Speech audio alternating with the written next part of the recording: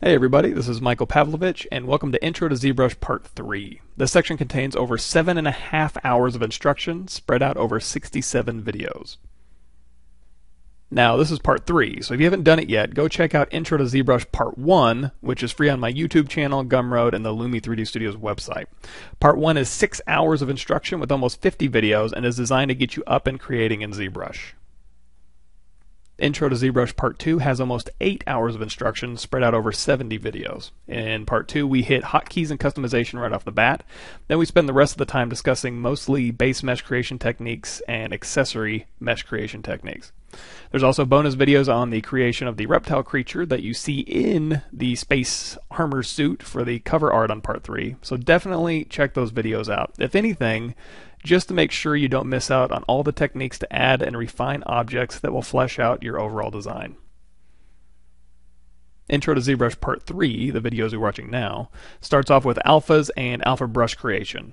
You can use these to help flesh out and try new ideas in the concepting phase, and or add convincing detail during the polish phase of your design.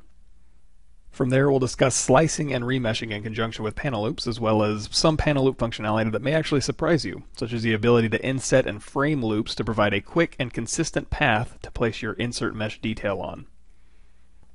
After that, we'll dive deep into ZModeler, discuss some of the new box modeling and subdivision preview functionality within ZBrush, and we'll use these methods to create custom insert mesh brushes later on to help provide convincing detail to our finished model. We'll go into polypainting basics and make sure you have a solid foundation to build your polypainting skills on. There's a polypainting demo of the reptile sculpt in part 2, so these videos will make sure you can hit that level and beyond. If drawing in ZBrush is your thing, we'll talk about quick sketch functionality, how it's created, and a few other tips that'll get you creating 2D sketches, as well as integrating some of the built-in ZBrush functionality to help supplement your 2D with some 2.5D and 3D tricks. We'll go into the basics of materials, textures, lighting, and cameras in ZBrush, with accumulation of these skills leading up to light cap, image-based lighting, and render passes. All of this utilizing functionality built right into ZBrush. To supplement this talk, we'll hop into KeyShot to talk about their lighting and material system. Then we'll take all of these render passes, masks, and height maps, and I'll show you how to composite these in Photoshop for a final, non-destructive, polished image. The rest of part 3 will be time spent making sure you have a good foundation in multiple areas of ZBrush that we haven't covered yet. So we'll go over basic and intermediate fiber mesh creation and options, then hop into UV Master so we can quickly and easily give our meshes UVs, which we'll then use to bake maps right out of ZBrush. We'll also use these UV layouts in the surface noise section to make sure our tiling detail wraps around our meshes in a convincing way.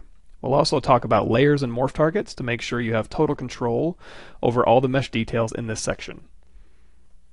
We'll talk about micromesh and nanomesh, the differences between the two, and the power of both to generate high frequency detail and patterns to sell the textures and surfaces of your objects. We'll get into turntable movies, settings you'll need to be aware of to get the highest quality out of your movies, as well as some of the advanced camera functionality. We'll go into document tiling and some of the 2.5D brushes for quick and easy height, alpha, and texture creation. Then we'll discuss Projection Master with this 2.5D knowledge and push your detailing skills even further. We'll then use Transpose Master to do a quick character pose. We'll talk about array mesh functionality, both for asset creation as well as the ability to sculpt a mirrored mesh while having instances of that mesh elsewhere on your model. And finally, we'll wrap up with a number of movies touching on advanced functionality of some of the previous videos, such as Transpose and Dynamesh. We'll also do a little practicing on Dynamesh slicing and merging, which I use in the creation of the armored reptile in the cover art for this section. Speaking of the armored reptile, just like in part 1 and part 2, there will be bonus videos, and it's probably no surprise it'll be on the creation of the cover art. We'll go through an overview of the creation of the reptile armor from block out to the refined polish stage, and then we'll hop into KeyShot and Photoshop to talk a bit about the render and compositing process for the final image. So, by the end of part 3, you should have a pretty comprehensive overview of ZBrush. Certainly enough to block out, refine, polish, game res, bake, render, texture. All of that is useful whether you're a concept artist, a production artist, an illustrator, a product designer, basically anybody who wants to use the power and speed of ZBrush to boost their productivity, usefulness to other departments, try out ideas, whatever you want to do, however you want to do it, these videos will help you on your way. So let's get in there and start ZBrushing.